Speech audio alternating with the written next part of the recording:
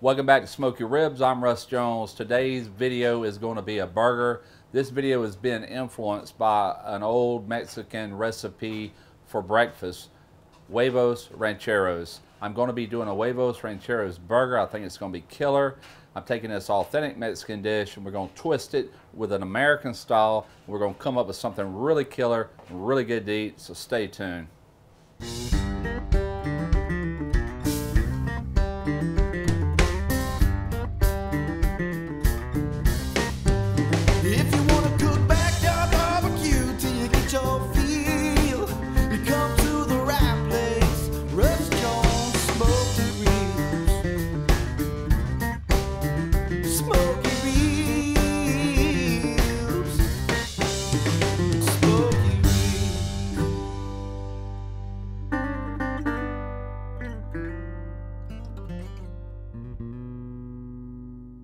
All right, first order of business is I'm going to make a salsa quemada. I'm making this now because it needs time to marry and meld and come together. I've actually made this exact same sauce on another video. The recipe is right up here in this video card if you'd like to check that out. The recipe came, where I got it from, was from uh, Chef Johnny Stewart over at Texas Style Cuisine. I'll have a link to his video as well down in the description box below the video.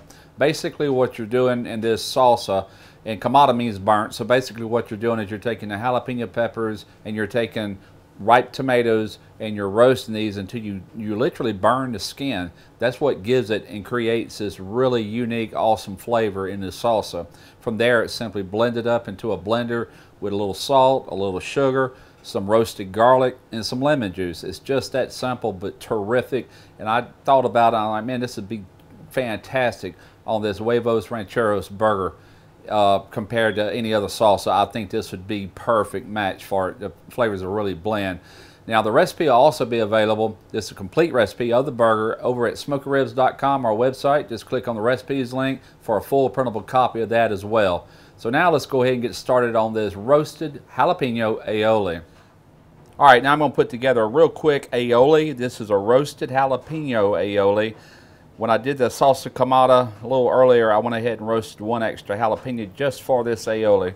So I'm simply just going to give this a rough chop, mince it up somewhat.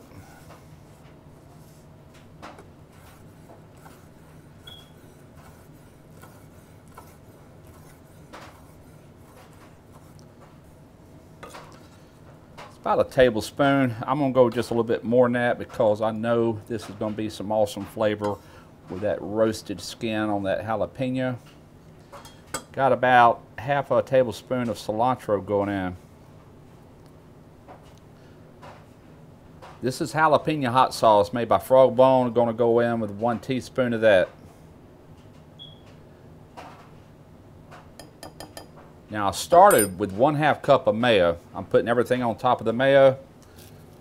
Going to add just a little bit of black pepper, cracked black pepper. That should do it. Just a little salt, not much. About an eighth of a teaspoon. So now just simply give it all a really good mix. You want to cover this, put this in the refrigerator, give it a couple hours, and that's about how long it's going to be before we actually start cooking. That'll give all this flavor time to really meld and come together. Now, if you look down here, you'll see some black Angus patties that I put together. This is 80-20, and it's pure black Angus, going to be good. And all I'm going to do right now is I'm going to salt and pepper each side of this and get them ready for the grill. I actually have eight patties in all. I'm to start with these four. A little black pepper.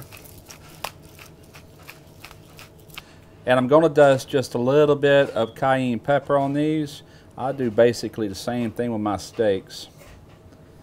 It's not much punch here. It cooks out. It just really lends a nice flavor to it. Just kind of press that in.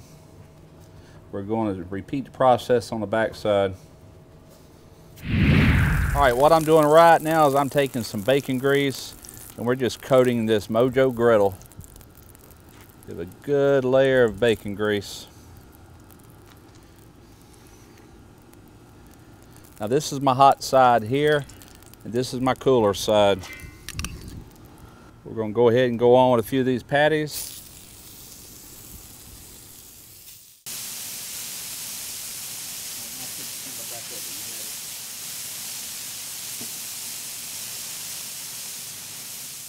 All right, what I'm going to do now on this side that's not so hot, we're going to go ahead and start some eggs.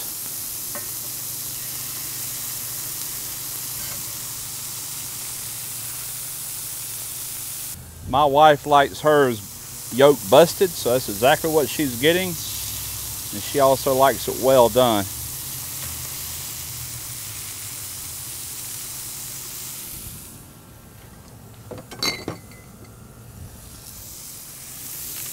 Little salt, little black pepper. My eggs are good to go. I've got them shoved way over here where it's not near as hot. It is hot, but not hot enough to do much damage. This is still gonna be a runny yolk, so is this one. As you can see, this one's already well done. All right, I do believe our burger is ready for a flip. Look at the crust on that.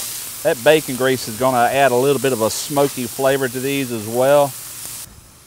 Now we're going to take some of the salsa quemada and we're going to top each one of these burgers with a couple of tablespoons.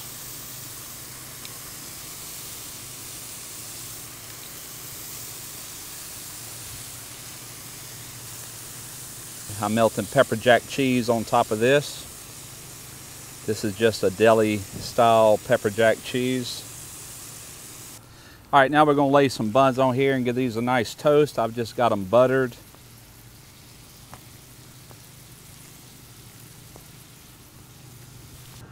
I'm gonna go ahead and take these burgers off. They are done.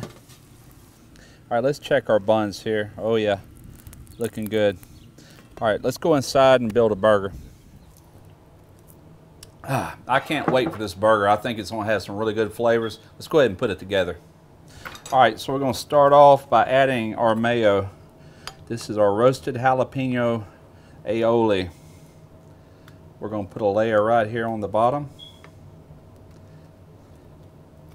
From there, we're going to place on one of these patties. Had a little bit more shrinkage than what I was wanting, but that's okay. And from here, one fried egg. Going to garnish that with just a little cilantro and a little fresh avocado. Some more of this roasted jalapeno aioli on the top bun. I say we're ready for a taste test.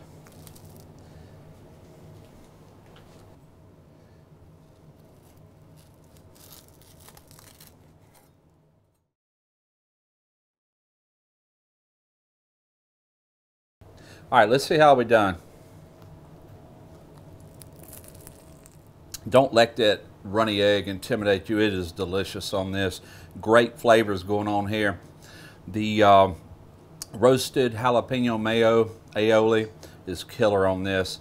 A lot of heat coming through, but not overpowering. It's just got a really nice heat, you know, nice background heat. Really good. Great flavors. I hope you give this one a try. It's good for breakfast, lunch, or dinner. Until next time, smoky ribs.